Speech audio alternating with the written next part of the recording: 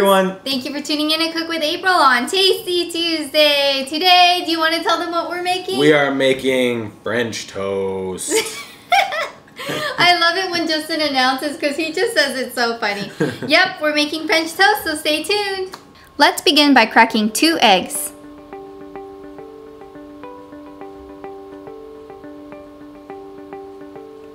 Whisk the eggs and at the same time add milk.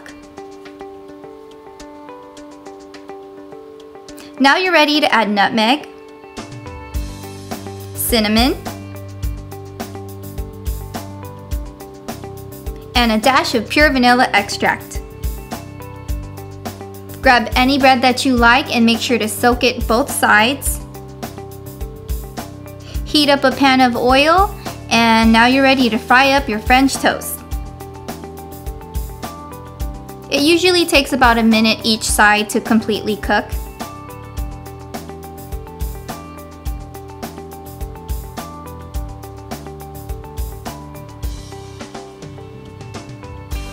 Now your French toast is ready. I like adding some fruit on top, so I added some sliced bananas.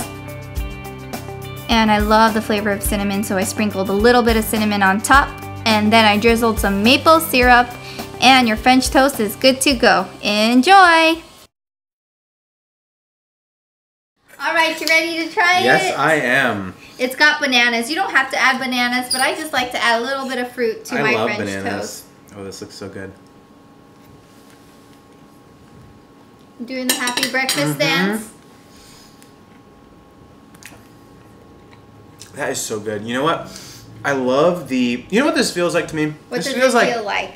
And I go to a restaurant and get like a fancy French toast where they put like fruit on it and like cinnamon. And then the syrup is all Dang. like, whoa, whoa, whoa. no, but seriously, like you don't really think of like when you make like breakfast food at home for yourself, you don't, never really think to like put a, like a dash of cinnamon on it. It really kind of brings out the flavor of the, of the French toast. And I love the um, kind of how you made it like mini. Yeah, the mini baguette, you cut it in um, little small pieces. Mm-hmm. I love that, and that's great for if you actually have those around the house and it's going bad. Yeah, yeah, yeah. And you can use it. That's exactly what I did. We used leftover bread from like a restaurant. We had like bread, and so why not? yeah, I love that. So it's Yeah. it's it tastes great. Thank you so much Thank you.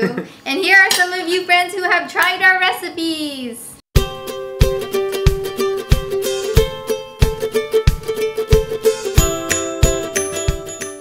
Well, thank you friends so much for watching. We hope you enjoyed this episode and we hope to see you next Tuesday for a new recipe. See you soon. Bye. Bye. Cinnamon rolls. Mm. So I don't know what to call it. Cinnamon, cinnamon rolls? Cinnamon cinnamon rolls. Yep, so stay tuned. It's so good.